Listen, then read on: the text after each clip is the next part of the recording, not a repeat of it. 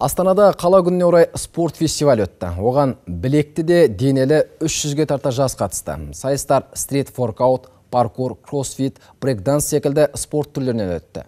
Кіл мықты да кім мықты? Индира Жылқайдарова біледі.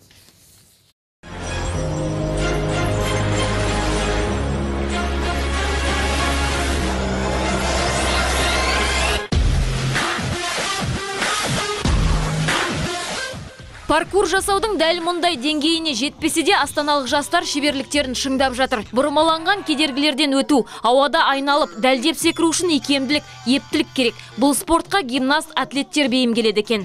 үш жыл болды айналысқаныма 11 жасымнан бастадым анда өзіме ұнағансын осы осы спортты таңдадым трюктары сондайлар ұнайды өміріме жақсы әсер етеді да сол қазіргі жастарға айтатын осы ішіп шегіп жүрген орнына осы спортты бастаған қалаймын Паркур тіпті алда жалда оқыс оқиға болса қауіптен сытылып шығу тактикасына баулиды дейді жастар.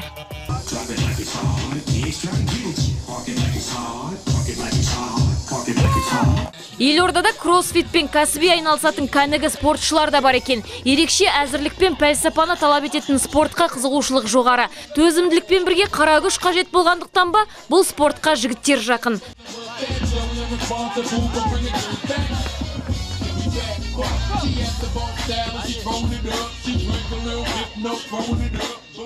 Нағыз кроссфит спортшысы бірден бірнеше жүктемеге дайын болуы керек. Қазір ол бұқаралық спорт түріне айналған. Вот она сила.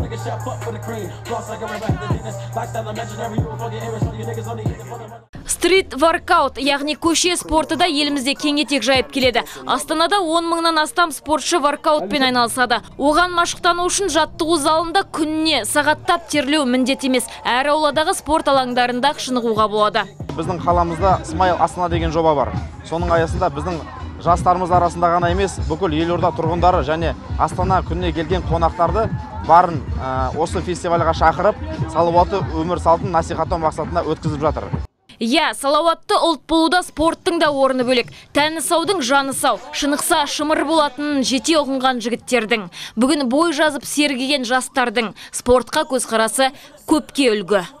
Индира Жылқайдарова, Азамат Сәметов, қорытынды жаңалықтар.